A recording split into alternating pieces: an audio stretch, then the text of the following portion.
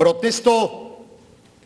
Guardar y hacer guardar la Constitución Política de los Estados Unidos Mexicanos, la Constitución Política del Estado Libre y Soberano de Guerrero, y si así no lo hiciere, que el propio pueblo de Guerrero me lo demande.